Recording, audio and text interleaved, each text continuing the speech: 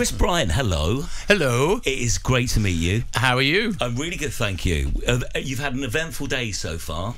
Yeah, it started very early because we've got to table things for the uh, debate this afternoon in manuscript, which you very rarely have to do because the government have been playing. I think the official term is silly buggers. I, and that happens a lot, does it? Uh, government playing silly buggers is kind of par for the course, I would say, yes. I've got so much I want to ask you about government, about you, about your books, about the songs. Uh, tell me about this song list because you're educating me with this My Pride playlist. A couple of songs that I didn't know, but I'm really glad I know, thanks to you. Well, funny enough, when I arrived in the building, I bumped into Peter Mandelson and told him I was doing this, and he said to me, "Oh well, you'll have lots of Gloria Gaynor." And I said, "Absolutely not. I'm not sure that Gloria Gaynor, notwithstanding I Will Survive, I'm not sure she really is all that keen on the gays. Yeah. So, not. I don't think Gloria Gaynor is a great person to have. So, anyway, I've tried to do things which are a bit of you know chunks of my life, uh, things that I really really love, and um, and then there's a couple of cheeky ones.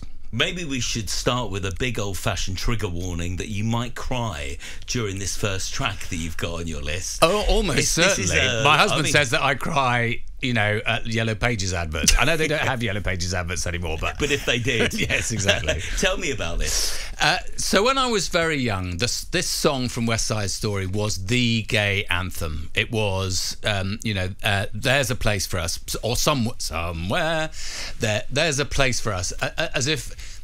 Um, uh, it's the slightly sort of tragic version of being gay, um, and because I'm 62 now, so when I was born, it was it was illegal to engage in any kind of homosexual activity, um, and when I was at university, the age of consent was 21. Yeah. So I'm quite often asked, "Have you ever broken the law?" And I say, "Oh yes, quite a few times. Thank you very much."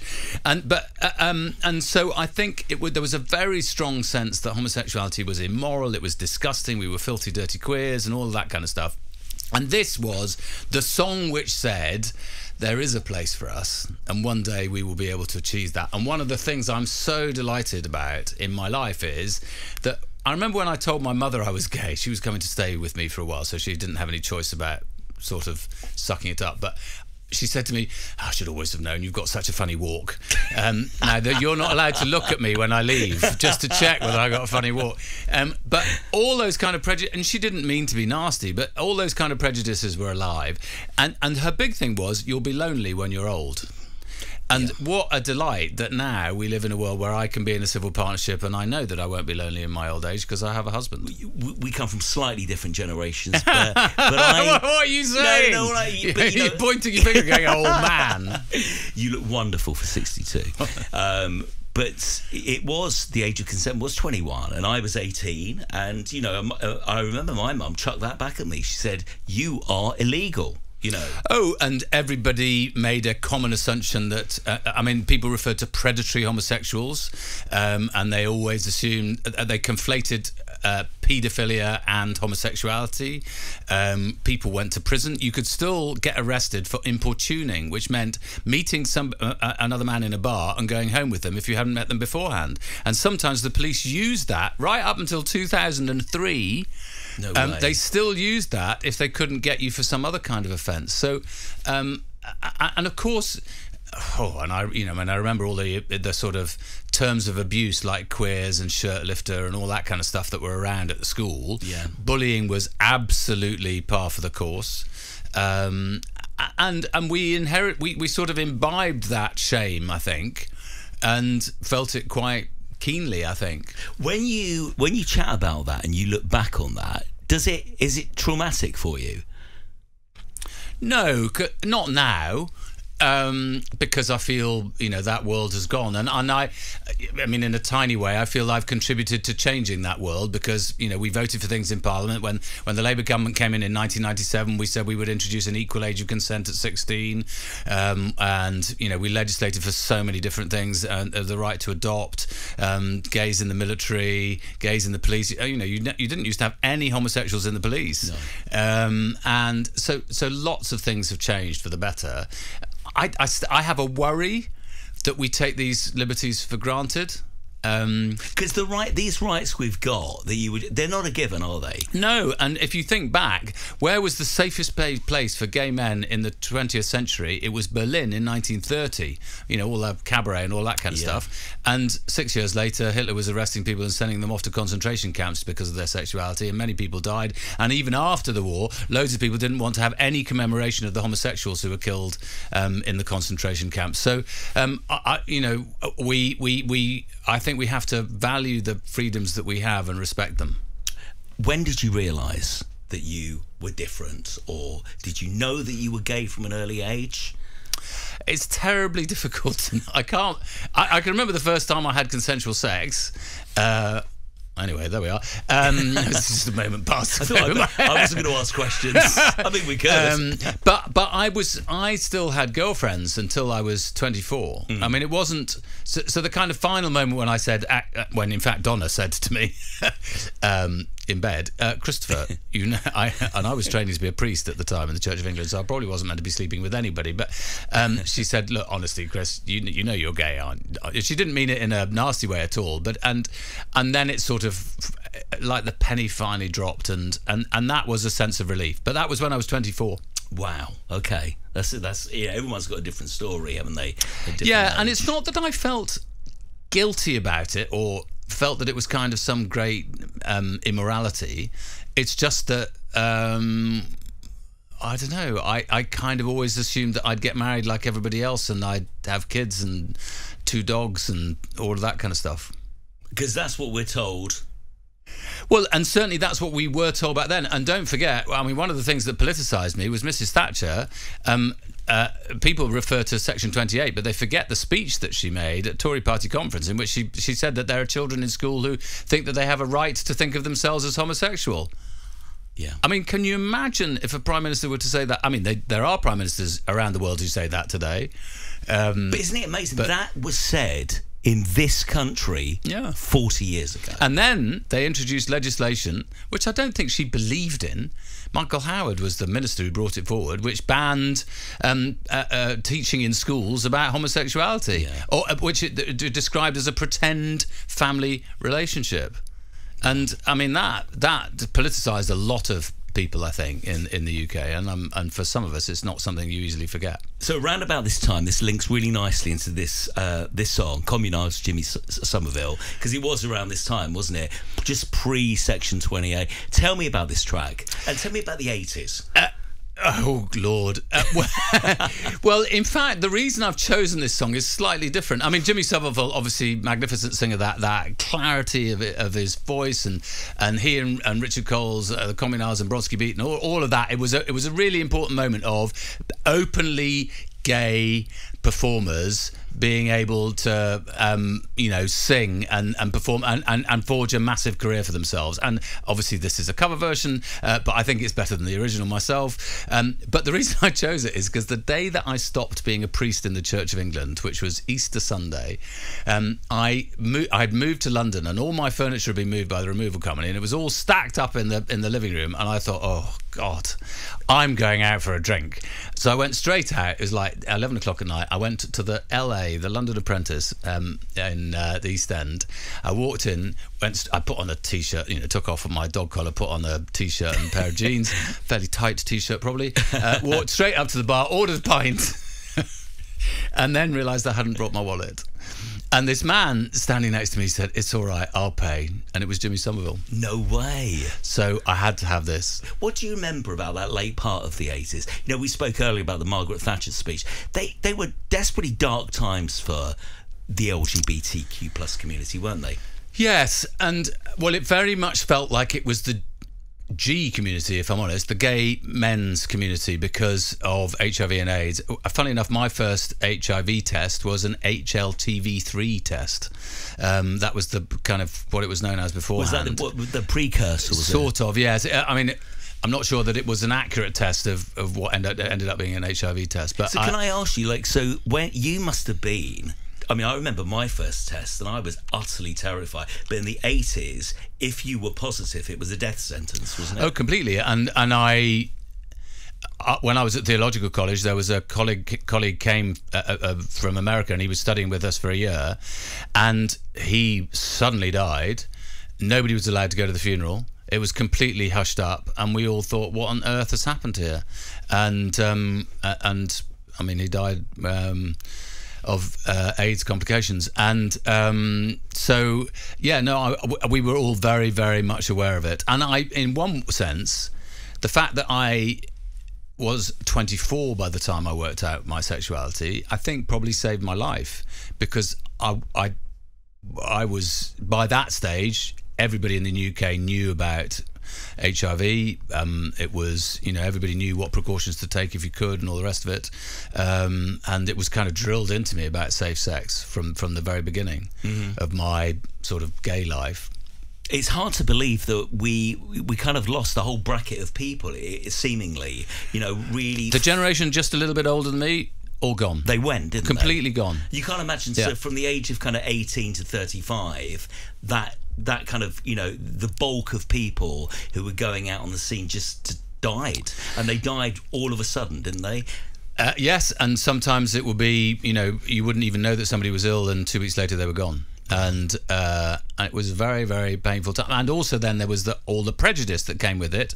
I mean utterly preposterous stuff about you know how people thinking that you could be infected um, and interestingly enough in relation to the infected blood stuff at the moment as well a lot of that prejudice and stigma um, was attached to, to, those who you know were, who were hemophiliac as well and had received um, infected blood. So it was it was pretty horrific. And there was another bit as well which was the because in the old days, you know, if you ever went to a gay bar, you had to ring a, a doorbell, yes. and there'd be there'd be curtains over all the windows, and they you you they say sort of poke the door open, and they go, you know, this is a gay bar, or, or a or password, or something. Yes, or you, or can you name two other gay bars, yes. or something like that, or can you name two homosexuals, or you weren't allowed to include Larry Grayson, um, and um, and so that was really weird. Um, and, and in fact, very weirdly for me, um, virtually every time I went to a gay bar when I was still a priest in the Church of England, they were playing "It's a Sin" by the Pet Shop Boys.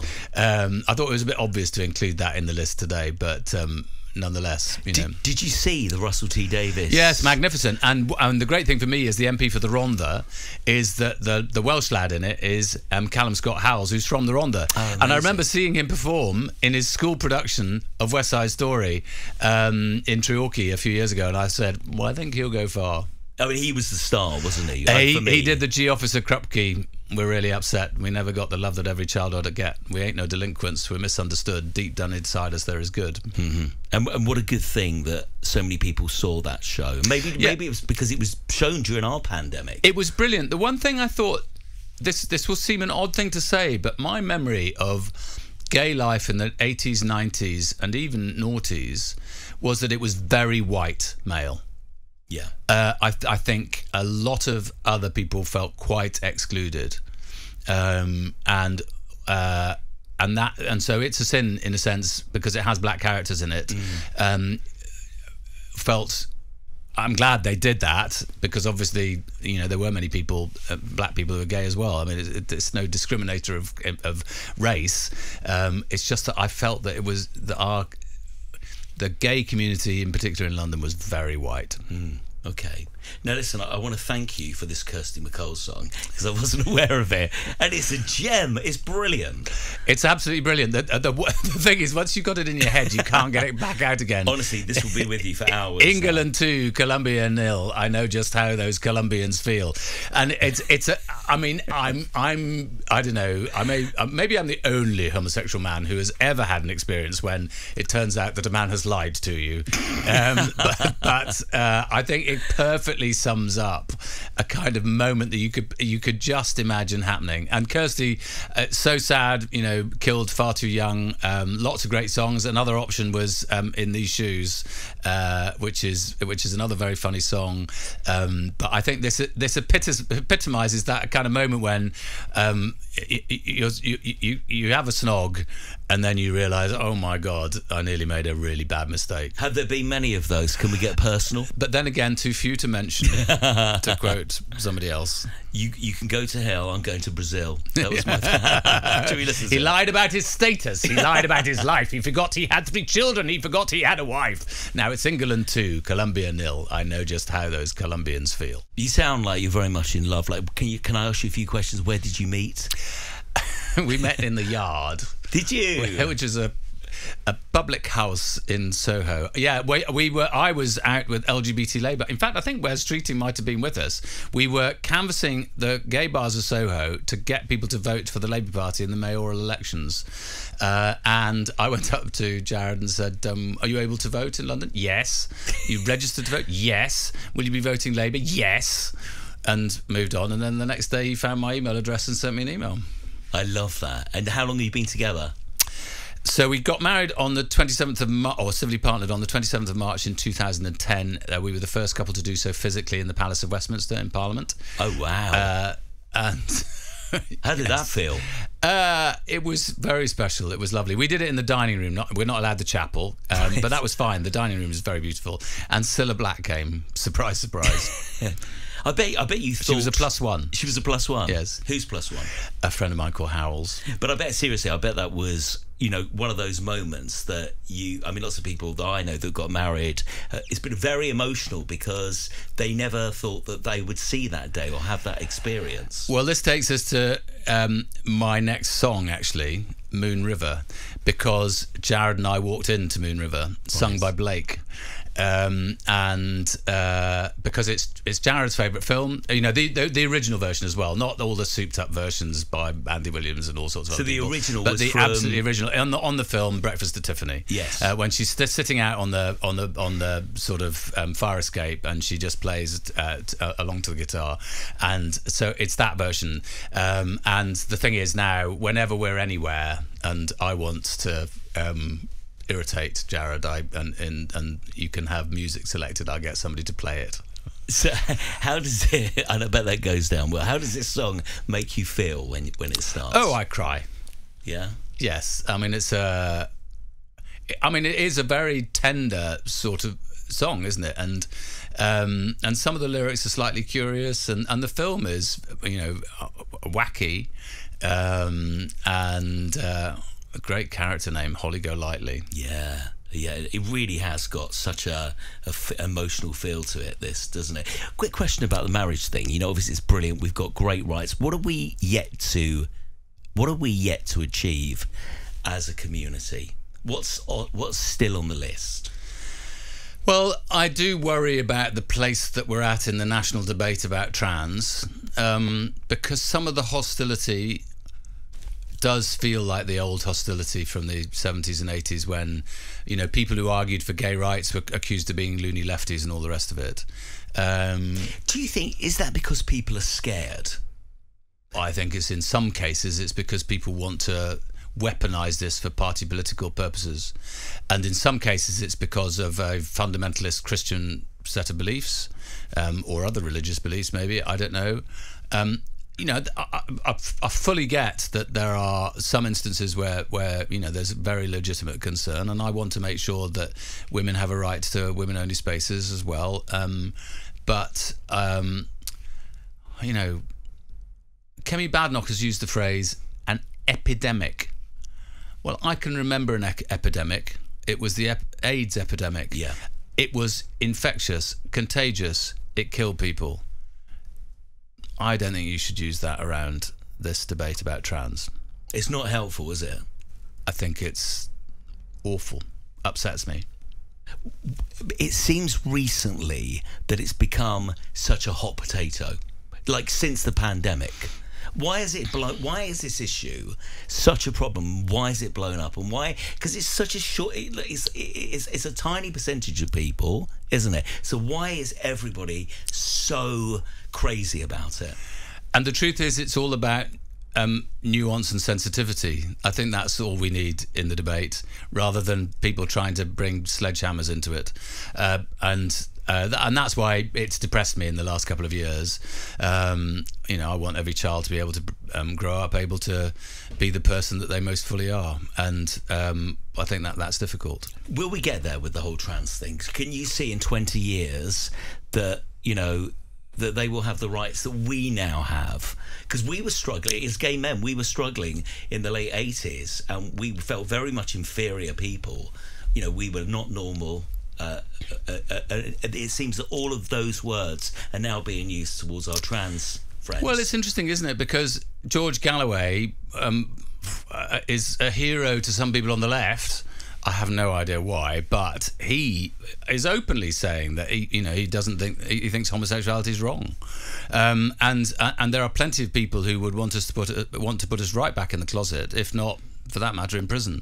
So I, I, that's why I think pride is so important because it is about constantly reasserting that um, uh, good as you. We've got a couple of like random questions yep. I'm going to throw at you. Um, what's your relationship with religion now?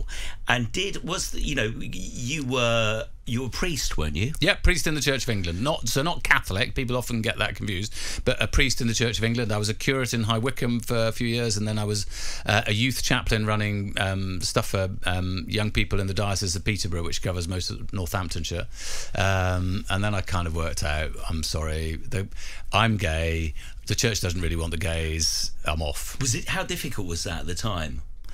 I was 29 and I, I could see I, I, I met people who I met gay clergy. There were lots of gay clergy, but they were completely closeted. They couldn't live with a partner, um, and and they felt miserable. That's going to be so divisive, isn't it? Yeah, completely, and and completely counterproductive, um, and um, and it didn't really preach a gospel of love either.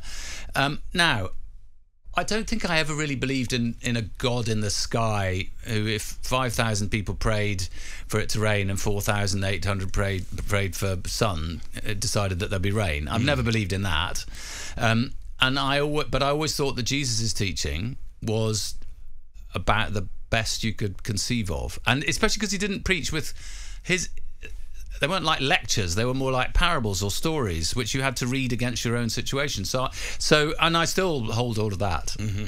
now i don't go to church very much. I kind of feel that the church doesn't really want us so why would we want it? This is a question that i ask every guest i'm just interested in getting your answer. If somebody's listening right now and they're listening to you and they're thinking wow you know, he's really made some of his life and he is who he says he is. What would you say, you know, to somebody who's confused and thinking, I'm not sure if I can come out or how I could deal with my feelings and stuff? What, what would be your advice? Uh, so there are lots of people for whom family life is not easy in this um, in, in, these debates, yeah. um, for all sorts of different reasons, um, and that's very tough. But in the end, you will live with yourself longer than you will live with anybody else. So, being true to yourself, which may not always be easy to decide quite what that looks like, that's the single most important thing that you have to do in your life. And that's the only source of happiness and joy. And how do you do it? Well, I think for most of the people I know, there have been kind of role models. I don't necessarily mean famous people. I just mean people in that, that they've known in their life who have been helpful and supportive. Yeah. Um, and uh, um, being alert to that, I think, is really important. Um, I, I, you, you do have to find a degree of strength in yourself, inner strength.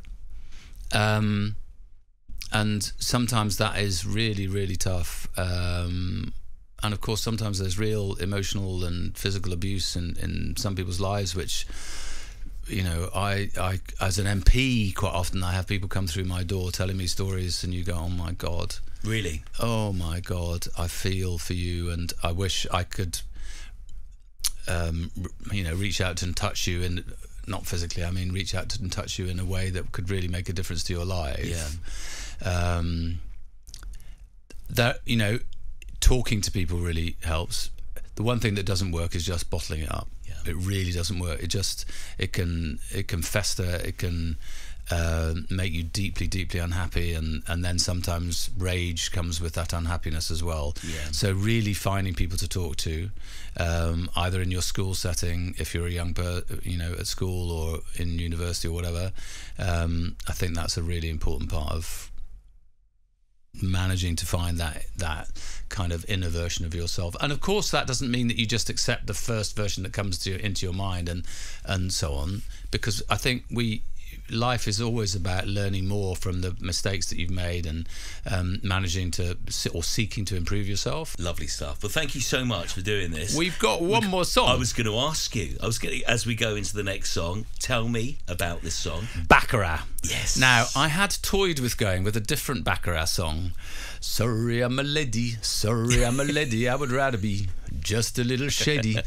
Uh, but I went with Yes Sir, I Can Boogie. Um, there's you know you can't not dance to this uh, and it's the it's all apart from anything else it's the it's I think they're putting on the kind of Spanish accent a bit because Yes. they speak perfectly good English, um, but they are absolute Spanish Eurovision royalty. Baccara, um, yes sir, I can boogie. Virgin Radio.